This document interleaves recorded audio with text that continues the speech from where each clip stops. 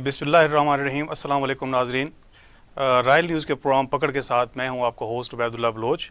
और चूँकि आज का प्रोग्राम हम 24 मार्च, जो कि वर्ल्ड टीबी डे के हवाले से पहचाना जाता है हेल्थ केयर सेक्टर में, इसके तौर पे मना मना रहे हैं तो हमने इसके लिए खसूस अहतमाम किया है कि हमारे जो टीबी कंट्रोल प्रोग्राम के हेड हैं, उनको हम बुलाएँ और इस हवाले से लोगों में अफादियत और जो रोल प्ले कर रहा है टी कंट्रोल प्रोग्राम, उस पर हम बात कर सकें।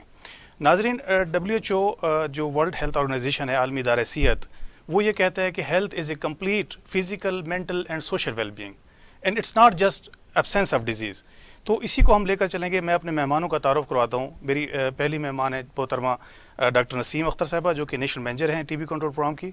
और पिम्स में कोरोना सेंटर की इंचार्ज भी हैं। और दूसरे मेहमान जनाब डॉक्टर सैयद हुसैन हादी साहब हैं जो कि नेशनल एडवाइज़र हैं नेशनल टीबी कंट्रोल प्रोग्राम के। मैं वेलकम कहता हूँ आप दोनों को मैडम तो सबसे पहले मैं मैडम से अपने सवाल का आगाज़ करता हूँ। मैडम आप ज़रा बताइएगा ये टीबी क्या है? इसकी अलामत क्या हैं? और गवर्नमेंट सेक्टर इस पर क्या काम आ, कर रहा है? बहुत बहुत शुक्रिया। सबसे पहले तो मैं ये बताना चाहूँगी कि जिस तरह बहुत सारी बीमारियाँ हैं जैसे बैक्टीरियल इन्फेक्शन है वायरल इन्फेक्शन है तो टीबी एक मुतदी मर्स है जो कि एक ख़ास किस्म के बैक्टीरिया से फैलता है जिसको माइकोबैक्टीरियम कहते हैं। माइकोबैक्टीरियम की बहुत सारी इकसाम हैं लेकिन टीबी कॉज करने के लिए जो बैक्टीरियम है, उसको माइकोबैक्टीरियम ट्यूबरक्लोसिस कहते हैं। जैसा कि मैंने आपको पहले बताया कि ये एक मुतदी बीमारी है, यानी ये एक से दूसरे को ट्रांसमिट हो सकती है। ख़ास तौर पर बीमारी की वो किस्म जो फेफड़ों पर अंदाज, असरअंदाज होती है, वो एक से दूसरे में ट्रांसमिट होती हैं। गो के टीबी की बहुत सारी अकसाम हैं जो कि मुख्तलिफ़ ऑर्गन्स के ऊपर अफेक्ट करती हैं, लेकिन सबसे ज़्यादा जो हमारा कंसर्न है, उसको हम पल्मनरी ट्यूबरक्लोसिस कहते हैं, या जो फेफड़ों के ऊपर असरअंदाज होती है। क्योंकि यही वो वाद बीमारी है जो कि एक से दूसरे में ट्रांसमिट हो सकती है। सो so, टीबी की अलामत आपका दूसरा सवाल है तो इसकी अलामत बहुत वेरिएबल किस्म की हैं। बाज़ लोगों को हल्का बुखार होता है जो कि काफ़ी दिनों तक चलता रहता है। और इस हल्के बुखार की अगर कोई और वजह मालूम ना हो रही हो और ये अलामत जो हैं वो काफ़ी लंबे अरसे तक रहें और उसके साथ अगर मरीज़ को खांसी भी आना शुरू हो जाए ख़ासतौर पर अगर खांसी दो हफ़्ते से ज़्यादा की हो तो हम ये समझते हैं कि शायद टीबी का इन्फेक्शन ना हो गया हो। इसके अलावा वेट लॉस यानी वज़न में कमी आना एक और अलामत है। और मजी, मज़ीद अलामत में ये हो सकता है कि मरीज़ आहिस्ता आहिस्ता कमज़ोरी और निकाहत का शिकार होता है और फिर अगर वो डॉक्टर के पास पहुँचता है और उसकी अलामत की बेसिस पे उसको डायग्नोज करने की कोशिश की जाए तो लंग्स के हवाले से मैं कहूँगी कि कुछ खास किस्म के टेस्ट किए जाते हैं, जिसकी बेसिस पे और हिस्ट्री की बेसिस पे हम ये अंदाज़ा लगाते हैं कि इस पेशेंट को टीबी का इन्फेक्शन तो नहीं हो गया। दूसरा सवाल आप जो पूछ रहे हैं कि गवर्नमेंट की तरफ़ से क्या इकदाम हैं? तो जैसा कि मैंने आपको बताया कि टीबी एक ऐसी बीमारी है जो कि बहुत कॉमन है और दुनिया में इसके केसेस जो हैं वो आ, उसमें इजाफा ही हुआ है। पाकिस्तान में ख़ास तौर पर नंबर ऑफ़ केसेस पिछले कई सालों में बढ़े हैं। और कुछ वजूहत हैं, कुछ स्पेशल किस्म के रिस्क ग्रुप्स हैं जिनको ये टीबी की बीमारी होने का ज़्यादा इम्कान होता है। लाइक ऐसे पेशेंट्स हैं जो इम्यूनो कम्प्रोमाइज हैं एच आई वी एड्स के मरीज़ हैं, या ऐसे लोग हैं जो कि मेल नरिश्ड हैं, उनकी सेहत की कंडीशन पहले ही अच्छी नहीं है तो उन लोगों को टीबी जल्दी असरअंदाज हो जाती है। थैंक यू मैडम मैं डॉक्टर सैयद हुसैन हादी साहब से रिक्वेस्ट करूँगा कि लोग तो कहते हैं कि टीबी ख़त्म हो गई है माशरे में ना। ओवरऑल एक एक स्टेरियो यही बिल्ड हो रहा है सोसाइटी में। तो उसके बाद जो टीबी कंट्रोल प्रोग्राम है, उसका कहाँ कहाँ अपना रोल है? तो मुझे इसके हवाले ज़रा थोड़ा सा बताएँ कि नेशनल पेंडेमिक क्या सिचुएशन है इसकी टीबी के मरीज़ों की और इंटरनेशनल क्या स्नैरियो है टीबी के मरीज़ों का? Thank you very much Ubaid साहब। आपने बड़ा अहम सवाल किया है। चूँकि जनरल पब्लिक का ये इम्प्रेशन है और सिर्फ़ जनरल पब्लिक का नहीं है, काफ़ी हायर अप्स का भी यही ख्याल है शायद कि टीबी इतना बड़ा मसला नहीं है पाकिस्तान का। और पाकिस्तान में तो टीबी ख़त्म हो गई है, ऐसा हरगिज़ नहीं है। टीबी कंट्रोल प्रोग्राम जब 2001 में बना तो टीबी टीबी यही समझा जा रहा था कि टीबी ख़त्म हो गई है, क्योंकि केसेस डायग्नोज नहीं हो रहे थे।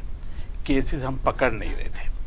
तो जब हमने केसेस डायग्नोज करने शुरू किए तो पता चला कि टीबी तो काफ़ी ज़्यादा है। और इस वक्त पाकिस्तान इंटरनेशनल मैं पहले बता दूँ आपको कि तकरीबन 10 मिलियन टीबी पेशेंट्स इस वक्त इस साल पिछले साल थे। यानी एक करोड़। तकरीबन एक, एक करोड़। और आ, उसमें से तकरीबन 1.4 मिलियन की मौत के का भी शिकार हो गए।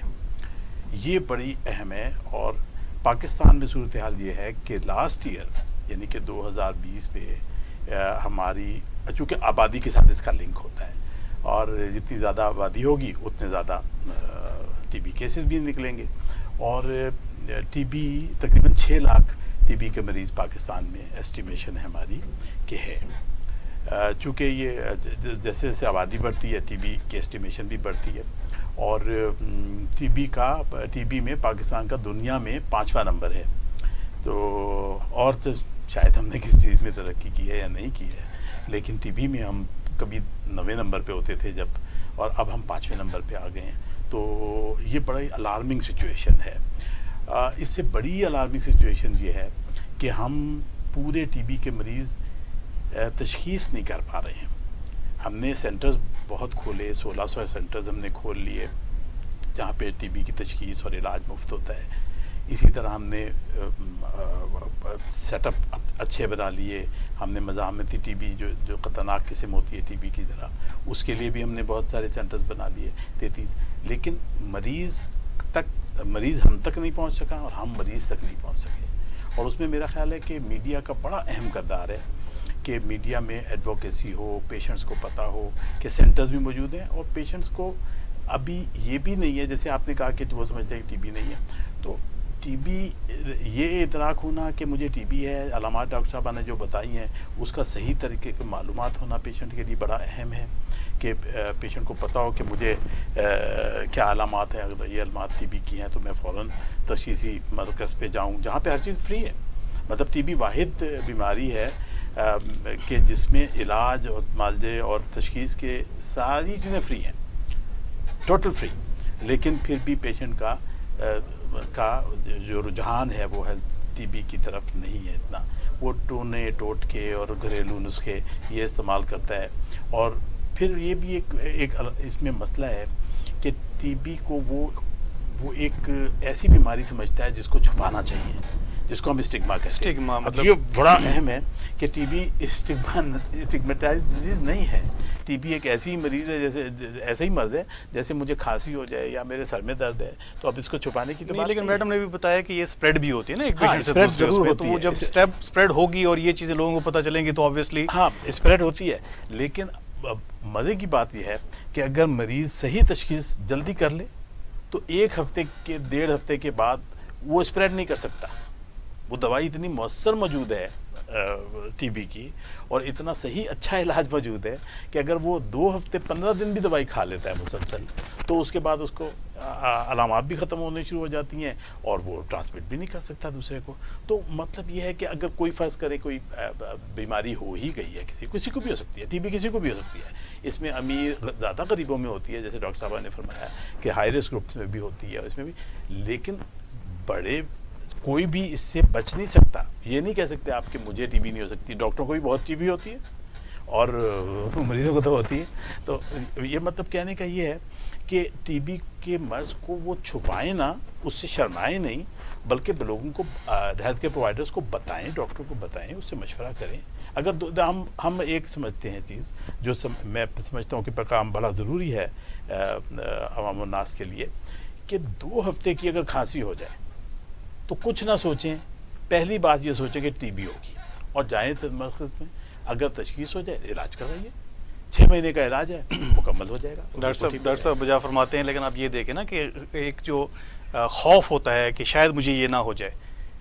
उस खौफ में भी बहुत सारे लोग जो है वो टेस्ट सेंटर में जाते हैं। लिहाजा उनका कॉन्फिडेंस बिल्ड करना मैं समझता हूँ ज़्यादा ज़रूरी है। तो प्रोग्राम उनके पेशेंट्स के कॉन्फिडेंस बिल्डिंग के लिए क्या रोल प्ले कर रहा है?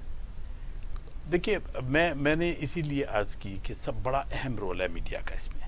मीडिया ये बताए, और ये हमारा ज़रा समझें आप, है हमारी कम्युनिटी की एक्टिविटीज़ हम, और लेडी वर्कर्स को भी इन्वॉल्व कर रहे हैं, और भी कम्युनिटी वर्कर्स को इस्तेमाल करते हैं इस काम के लिए। लेकिन मीडिया का बड़ा कलीदी रोल है इसमें, मैं समझता हूँ कि अगर वो मुसलसल एक एडवोकेसी करे प्रोग्राम के बारे में टीबी के बारे में बताए टीबी की अलामत के बारे में बताए और ये बताए कि टीबी को छुपाने वाली मर्ज़ नहीं है और कोई ऐसा मर्ज़ नहीं होता जो जो छुपाने वाला हो। और कोई ऐसा मर्ज़ नहीं होता जिससे मरीज़ से नफ़रत शुरू कर दी जाए। मर्ज़ से नफ़रत करनी चाहिए ना। मरीज़ से तो नहीं नफ़रत करनी चाहिए। तो मरीज़ को, को, कोई भी अगर मर्ज़ हो जाता है तो उसको हेल्थ केयर प्रोवाइडर के पास है। और टीबी में अच्छी वैसे तो बीमारी हर बुरी होती है लेकिन टीबी के लिए एक ख़ास बात यह है कि इसका मुकम्मल और बिल्कुल हंड्रेड परसेंट शर्तिया इलाज मौजूद है। वो बिल्कुल ठीक हो सकता है आदमी। तो ये आ, मैं चाहूँगा कि आपके तवसत से ये पैगाम ज़रूर जाए लोगों के पास कि टीबी का सर्विसेज़ मौजूद हैं फ्री ऑफ़ कॉस्ट हैं और काबिल राज हंड्रेड परसेंट तो ये मैं कहना चाहता हूँ इसके चलें आपने यहाँ मरीज़ के पकड़ने की बात की तो हम हाँ, पकड़ प्रोग्राम में मैंने इसके पकड़ के हवाले से मुझे याद आया कि तो भाई मरीज़ को पकड़े एक हमारी कोर। रेलेवेंसी एक मतलब इस। हवाले से बन गई। डॉक्टर साहब आप जरा बताइएगा कि पाकिस्तान में कितने सेंटर्स हैं जो टीबी के मरीज़ को देख रहे हैं ट्रीट कर रहे हैं अच्छा सवाल है।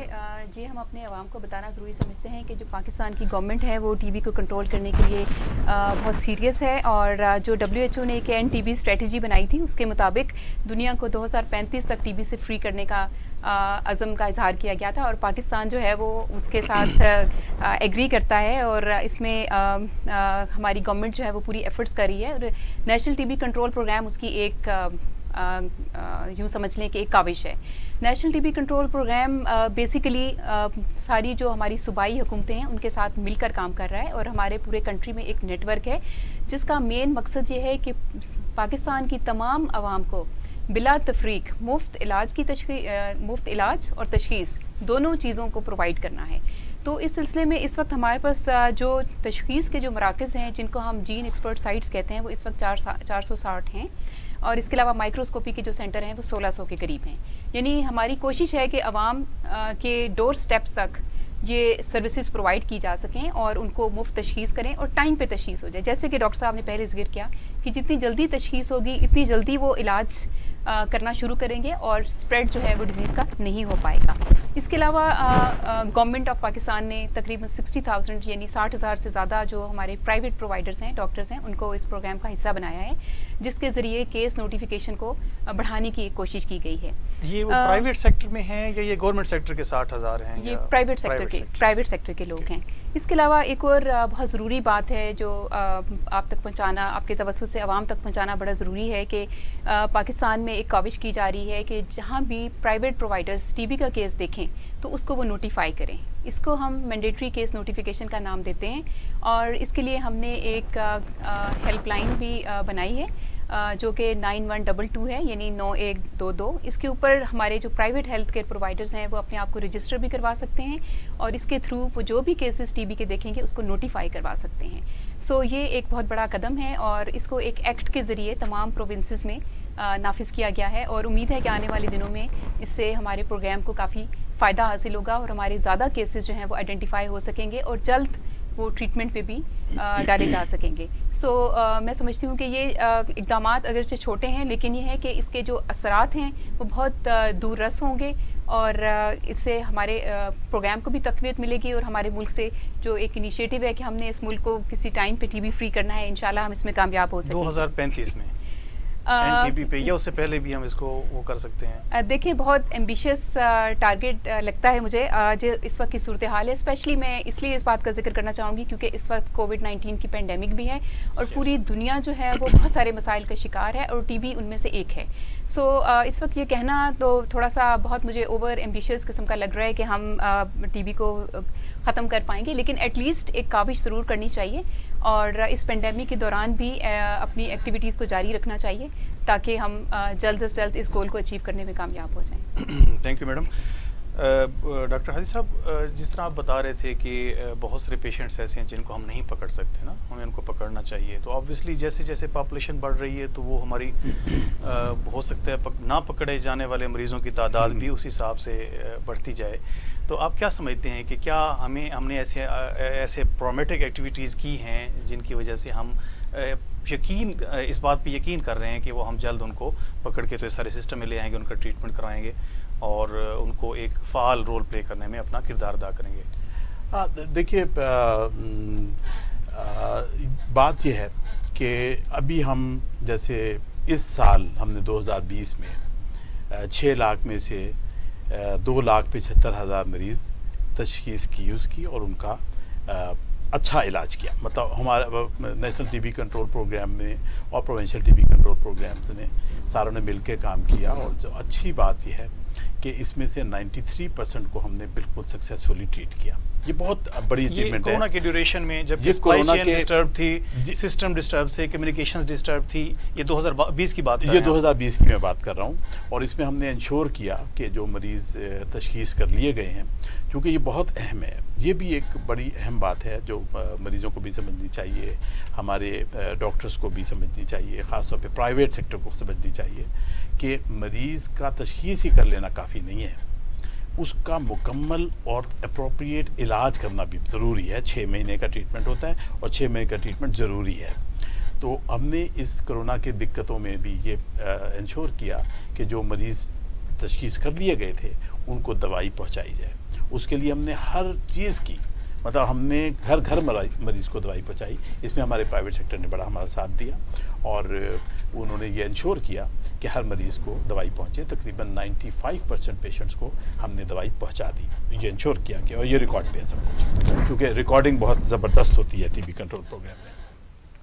बाकी बात आपने ये जो पूछी कि हमने आ, कैसे हम पकड़ पाएँगे उसको और ये जो मिसिंग केसेस हैं मैंने अर्ज़ की कि 50 परसेंट केसेस तकरीबन हम मिस कर रहे हैं। और ये कोरोना में हो गया ज़्यादा। हम हमारी पेस ठीक जा रही थी लेकिन कोरोना का जो झटका लगा हमें करेना का बड़ा इम्पैक्ट आया है। बाकी चीज़ों पर बहुत आया है मीशत पर आया है। बाकी हेल्थ हेल्थ सेक्टर पर भी बहुत आया है। तो टीबी पे इसलिए आया है कि टीबी के मरीज़ पहुँच ही नहीं सके। हमारे बेशतर सरकारी एक्सेस कंप्रोमाइज हो गई जिसकी वजह से वो नहीं पहुँच सके। ट्रांसपोर्टेशन भी हिंड्रेड थी अब जो पहुँच ही नहीं सके तो हमारी केस नोटिफिकेशन नीचे चली गई जो कि 50 परसेंट हो गई। अच्छी भली 58 परसेंट तक हम ले गए थे इसको अ, 2019 में लेकिन 20 में कम हो गई। अब इसके लिए हमारी कोशिश ये है कि ये ये जितने भी अब 50 परसेंट मरीज़ नहीं हमारे नेट में आ रहे हैं, उसमें दो चीज़ें हैं। एक तो हम जो एग्जिस्टिंग सिस्टम है, उसको हम मज़बूत कर रहे हैं कि जैसे जो सबसे लोएस्ट ईयर है हेल्थ का, वो है लेडी हेल्थ वर्कर्स अब जो मरीज़ पहुँच नहीं सके हेल्थ हेल्थ सेंटर्स पे, वो कम्युनिटी में तो थे ना। और कम्युनिटी पे वो रहे। तो इसलिए हमने लेडी हेड वर्कर्स की ट्रेनिंग का बंदोबस्त किया। इस्लामाबाद की 300 लेडी हेड वर्कर्स को हमने ट्रेन कर लिया और बाकियों को पूरे कंट्री में हम तकरीबन अस्सी वर्कर्स को ट्रेन करेंगे। और इसके ज़रिए पेशेंट को अगर वो नहीं पहुँच सकता है हेल्थ सेंटर तक तो वो कम्युनिटी में हेल्थ वर्कर्स को तशखीस तो नहीं कर सकती वो लेकिन आइडेंटिफाई कर सकती है। कर सकती है। ये से कर सकती है कि वो जो टीबी की अलामत देख के उसको ये कह सकती है कि भाई तुम नियरेस्ट सेंटर पे जो बहुत नज़दीक होता है जो बेसिक हेल्थ यूनिट है उस तक जाए। हम बेसिक हेल्थ यूनिट को भी स्ट्रेंथन कर रहे हैं। कि उसमें भी मरीज़ जाके उसकी तशीस कम अज़ कम हो सके या डॉक्टर उसको देख सके और टीबी को तो आगे उसका सिस्टम का स्पूटम ट्रांसपोर्ट का हमने सिस्टम बना रहे हैं कि स्पूटम कम अज़ कम चला जाए उसका डायग्नोस्टिक सेंटर तक या जीन एक्सपर्ट तक, जैसे डॉक्टर साहब ने कहा। इसके अलावा एक बड़ी अहम नुक्ते की तरफ़ डॉक्टर साहब ने इशारा किया, वो है मैंडेटरी केस नोटिफिकेशन। पाकिस्तान में 2018 की एक रिपोर्ट के मुताबिक तकरीबन एक हज़ार मरीज़ प्राइवेट सेक्टर में देखे जाते हैं उनको दवाई लिखी जाती है और वो प्राइवेट फार्मेसी से दवाई लेता है। इसका मतलब ये है कि हमारी जो एस मतलब जो नेशनल टीबी कंट्रोल प्रोग्राम और प्रोवेंशल टीबी कंट्रोल प्रोग्राम मरीज़ देख रहे हैं जो तकरीबन दो सौ पचहत्तर मैंने बताया दो लाख पचहत्तर हज़ार मरीज़ तो वो देख रहे हैं। एक लाख चौंसठ हज़ार मरीज़ ट्रीट हो रहे हैं लेकिन हमें मालूम नहीं है। हमें वो रिपोर्ट नहीं कर रहे हैं। इसीलिए तमाम प्रोविंसेस ने मैंडेटरी केस नोटिफिकेशन का लॉ पास किया है अपनी अपनी प्रोविंशियल असम्बलीज से। और इसके तहत हर हेल्थ केयर प्रोवाइडर पर यह लाजिम है जो कि वो, जो भी टीबी का मरीज़ देखेगा, उसका इलाज करेगा, वो अपनी डिस्ट्रिक्ट गवर्नमेंट को बताएगा। इस तरह वो हमारे नेट में आ जाएँगे। और उसी, उन्हीं को फैसिलिटेट करने के लिए हेल्थ केयर प्रोवाइडर्स को डॉक्टर्स को हमने एक ऑनलाइन ट्रेनिंग मॉड्यूल बनाया है। जिसका हम कल मिनिस्टर साहब ने उसका अफ्ताह भी करना है आ, वो वो एक बड़ी अच्छी चीज़ है। क्योंकि हम तकरीबन एक लाख पचहत्तर हज़ार डॉक्टर्स हैं पाकिस्तान में। हम एक लाख पचहत्तर हज़ार तक खुद नहीं पहुँच सकते उनकी ट्रेनिंग के लिए।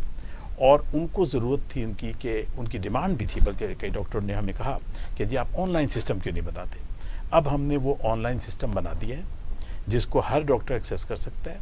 और वो फ्री ऑफ़ चार्ज है कोई पैसे नहीं है उसके बल्कि उसके ऊपर एक यूनिवर्सिटी के साथ हमने लाक किया उसका और उसको सिक्स क्रेडिट आवर्स भी मिलने मिलेंगे सी एम ई आवर्स जिसको हम कहते हैं। थैंक यू डॉक्टर साहब। वो अभी uh, हमारे पास जो uh, पहला uh, जो हमारा टेन्योर था प्रोग्राम का उसका वक्त ख़त्म हो गया। तो तो इन वक्फे के बाद मिलते हैं। हमारे साथ रहिएगा। हमारे मेहमान अभी हमारे साथ मौजूद हैं। Thank you